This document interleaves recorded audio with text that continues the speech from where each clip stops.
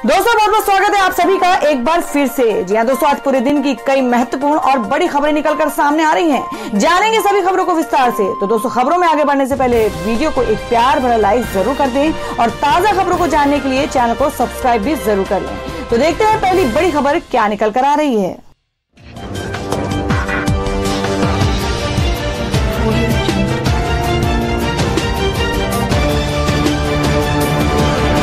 दोस्तों, आज की पहली बड़ी खबर बता दें कि बाज नहीं आ रहा चीन। एलएसी पर सात आठ गाड़ियों के साथ फिर से घुसपैठ की कोशिश।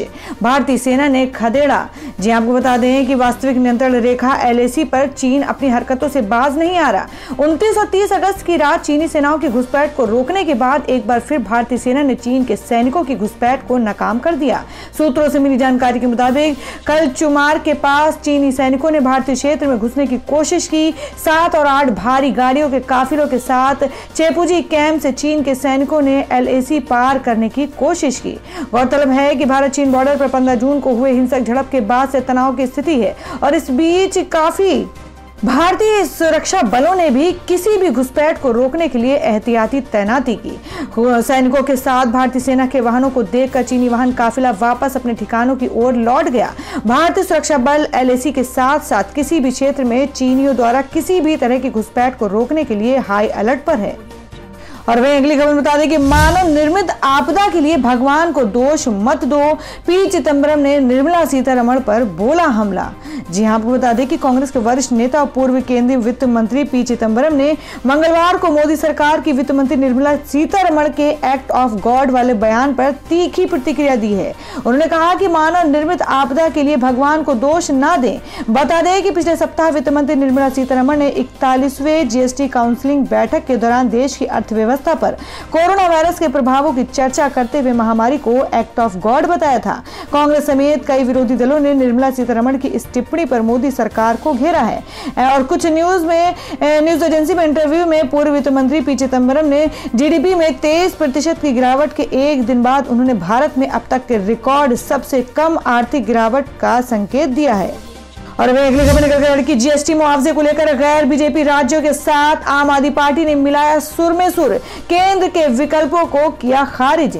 जी हाँ बात करें कि दिल्ली सरकार ने पश्चिम बंगाल, पंजाब, छत्तीसगढ़, केरल व तेलंगाना के सुर में सुर मिलाते हुए जीएसटी काउंसिलिंग की बैठक में केंद्र सरकार द्वारा दिए गए विकल्पों को खारिज कर दिया है।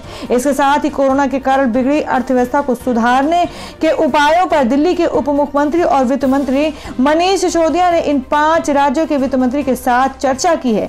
दिल्ली सरकार के वित्त मंत्रालय के अनुसार वर्ष 2020 और 21 में राजस्व में 2.3 लाख करोड़ रुपए के नुकसान की आशंका है। और वही अगली बड़ी खबर निकल कर आ रही है, जिसमें इलाहाबाद हाई कोर्ट का आदेश है कि डॉक्टर कफिल खान को तुरंत रिहा करे।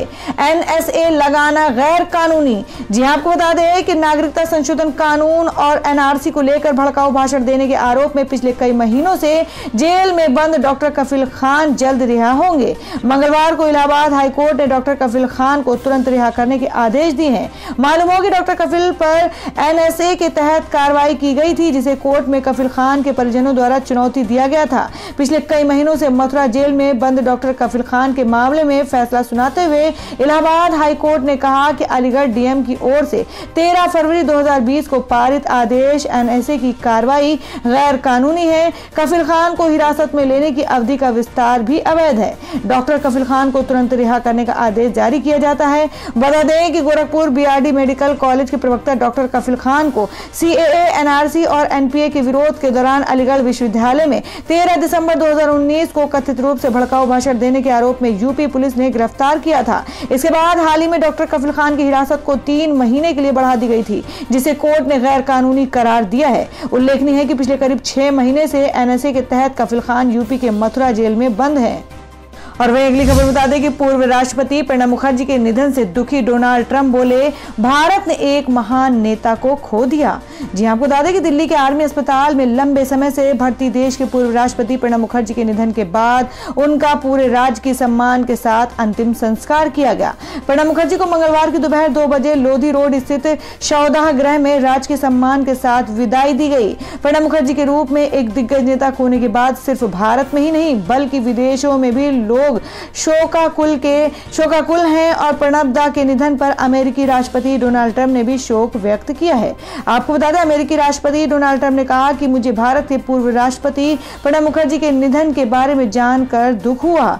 भारत अपने महान नेता को खोने का शोक मना रहा है। मैं उनके परिवार और भारत के लोगों के लिए अपनी संवेदना प्रकट करता हूँ। बता दें कि डोनाल्ड ट्रंप के अलावा प्रणब मुखर्जी के निधन पर बांग्लादेश के राष्ट्रपति अब्दुल हामिद, प्रधानमंत्री शेख हसीना, नेपाल के राष्ट्रपति विद्या देवी भंडारी, प्रधानमंत्री के पी शर्मा ओली और रूस के राष्ट्रपति व्लादिमीर पुतिन समेत कई नेताओं ने अपनी श्रद्धांजलि दी है। और हमें अगली खबर बता दें कि कोरोना संकट के बीच मध्य प्रदेश में अभिभावकों को राहत। सिर्फ़ ट्यूशन फ़ीस ही वसूल सकेंगे निजी स्कूल। जी हम बात करें कि कोरोना महामारी के चलते निजी स्कूलों में बच्चों की फ़ीस को लेकर अभिभावक अभी असमंजस में हैं, क्योंकि कोरोना के चलते हुए लॉकडाउन में स्कूलों भी, स्कूल भी बंद रहे हैं, जबकि स्कूल प्रबंधन ऑनलाइन क्लास के नाम पर फ़ीस वसूलना चाह रहे हैं। अब इस मामले में जबलपुर हाईकोर्ट ने बड़ा फैसला दिया है। आपको बता दें, कोर्ट के आदेश के मुताबिक कोरोना काल में निजी स्कूल सिर्फ़ ट्यूशन फ़ीस ही नहीं वसूल सकेंगे। इतना ही नहीं, स्कूल संचालक इस दौरान ट्यूशन फ़ीस बढ़ा भी नहीं सकते हैं। लॉकडाउन से पहले तय की गई ट्यूशन फ़ीस ही वसूल कर सकते हैं। लॉकडाउन के बाद से ही इस याचिका पर लगातार सुनवाई चल रही थी, जिसके बाद कोर्ट ने अब अंतरिम आदेश दिया है। बता दें कि कोरोना महामारी के चलते निजी स्कूल बंद थे, बंद कर दिए गए थे, मगर स्कूल प्रबंधन ने ऑनलाइन क्लास का हवाला देते हुए पूरी फ़ीस वसूलना चाह रहे थे। इसी बीच को लेकर, इस बात को लेकर अभिभावकों की ओर से से न्यायालय का दरवाज़ा खटखटाया गया। याचिका पर लंबी सुनवाई के बाद फ़िलहाल अंतिम फैसला कोर्ट ने दिया है। मामले में अगली सुनवाई 10 सितंबर को होगी हो, होगी और इस दिन इस दिन मामले में विस्तृत आदेश जारी होने की उम्मीद है। और हमें अगली बड़ी खबर बता दें कि मोदी सरकार पर बरसे सुब्रमण्यम स्वामी शी जिनपिंग के साथ 18 मुलाकातों की दिलाई याद। जी हाँ, आपको बता दें कि भारत और चीन के साथ सीमा विवाद के बाद एक बार फिर से चीनी सैनिकों ने घुसपैठ की कोशिश की है। पैंगोंग झील इलाके में चीन के सैनिकों ने घुसपैठ की हरकत की जिसका मुंहतोड़ जवाब भारतीय सैनिकों ने दिया। सीमा विवाद के बाद दोनों देशों के बीच तनाव की स्थिति बनी हुई है जिसके बाद से दोनों देशों के बीच कई दौर की बातचीत जारी है। लेकिन बातचीत के बावजूद भी चीन अपनी हरकतों से बाज नहीं आ रहा है। आपको बता दें, चीनी सैनिकों की इस हरकत के बाद बीजेपी राज्यसभा सांसद सुब्रमण्यम स्वामी ने अपनी ही सरकार पर निशाना साधा है। आपको बता दें, भारतीय जनता पार्टी के राज्यसभा सांसद सुब्रमण्यम स्वामी ने मोदी सरकार पर निशाना साधते हुए सरकार को चीनी राष्ट्रपति शी जिनपिंग के साथ 18 मुलाकातों को याद दिलाया और लिखा कि तमाम मुलाकात के बाद भी चीनी सरकार ने भारतीय नेताओं की कद्र नहीं की। सुब्रमण्यम स्वामी ने अपनी ही सरकार पर सवाल उठाते हुए ट्वीट कर लिखा कि भारत सरकार को चीन के खिलाफ कठोर रवैया अपनाना चाहिए। तो दोस्तों, आप लोगों को क्या लगता है, जिस तरीके से सुब्रमण्यम स्वामी ने अपनी ही पार्टी पर सवाल खड़ा किया है तो क्या उनका कहना सही है? और उनकी पार्टी को इसका पालन करना चाहिए, आप अपना सुझाव कमेंट बॉक्स में ज़रूर दें। बढ़ते बगली खबर की ओर। और अभी अगली खबर बता दें कि अनलॉक चार में सरकार का बड़ा ऐलान। पटरी पर जल्द दौड़ेगी सौ से अधिक और विशेष ट्रेनें। जी हम बात करें कि अनलॉक चार में अर्थव्यवस्था को और ज़्यादा खोल दिया गया है। आर्थिक गतिविधियाँ तेज होने से श्रमिकों की मांग बढ़ने लगी है, खासकर औद्योगिक शहरों में। लेकिन आवागमन के साधनों के अभाव में व्यवसायिक गतिविधियाँ तेज़ी से पटरी पर लौटती नज़र आ रही है। इसको ध्यान में रखते हुए अब रेलवे ने सौ से अधिक विशेष ट्रेनों को जल्द पटरी पर वापस लाने का फैसला किया है। रेल मंत्रालय के प्रवक्ता ने कहा कि यात्रियों की सुविधाओं को देखते हुए और अधिक ट्रेन चलाने की योजना बनाई जा रही है। जिन राज्यों से ट्रेनें चलनी हैं और जिन राज्यों को जानी है, उनसे ट्रेनों के संचालन को लेकर संपर्क किया जा रहा है। राज्यों की मंजूरी मिलने के बाद अतिरिक्त स्पेशल ट्रेनें चलाने की घोषणा की जाएगी। हालाँकि प्रवक्ता ने ये नहीं बताया कि और कितनी ट्रेनें चलाई जाएँगी, लेकिन सूत्रों के मुताबिक इनकी संख्या सौ से अधिक हो सकती है। तो दोस्तों, खबरों में आगे बढ़ने से पहले जान लेते हैं आज के माइंड को इसके सवाल को। आज का सवाल है आपको बताना है कि म्यांमार की राजधानी कहाँ है। इसका जवाब आपको वीडियो के नीचे कमेंट बॉक्स में देना है और सही जवाब देने वालों को रैंडमली सिलेक्ट किया जाएगा और वो जीत सकते एक बम्पर पुरस्कार। तो बढ़ते बगली खबर की ओर। और वही अगली खबर बता दें, जिसमें जीडीपी में गिरावट पर कांग्रेस ने मोदी सरकार को घेरा, कहा अर्थव्यवस्था की बर्बादी नोटबंदी से शुरू हुई थी। जी आपको बता दें कि जीडीपी विकास दर में भारी गिरावट को लेकर कांग्रेस के पूर्व अध्यक्ष राहुल गांधी ने मंगलवार को सरकार पर निशाना साधा और दावा किया कि अर्थव्यवस्था की बर्बादी नोटबंदी से शुरू हुई थी और उसके बाद से एक के बाद एक गलत नीतियाँ अपनाई गई। उन्होंने ट्वीट किया कि जीडीपी तेईस दशमलव नौ प्रतिशत हो गई। देश की अर्थव्यवस्था की बर्बादी नोटबंदी से शुरू हुई थी, तब से सरकार ने एक के बाद एक गलत नीतियों को लाइन लगा दिया। कांग्रेस महासचिव प्रियंका गांधी ने आरोप लगाया कि सरकार ने देश की अर्थव्यवस्था डुबो दी। उन्होंने ट्वीट किया कि आज से छह माह पहले राहुल गांधी जी ने आर्थिक सुनामी आने की बात बोली थी। कोरोना संकट के दौरान हाथी के दांत दिखाने जैसा एक पैकेज घोषित हुआ। मगर आज स्थिति देखिए जीडीपी तेईस दशमलव नौ प्रतिशत तक गिर गई। भाजपा सरकार ने अर्थव्यवस्था को डुबो दिया।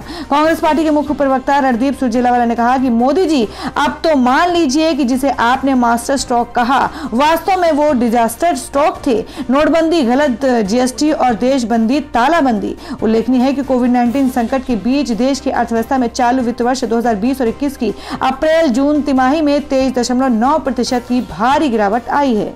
और वही अगली खबर में जान लेते हैं क्या है देश भर में कोरोना संक्रमण के ताज़ा हालात। देश में कोरोना संक्रमितों का आंकड़ा सैंतीस लाख के करीब। पिछले 24 घंटे में उनहत्तर नए मामले सामने आए हैं।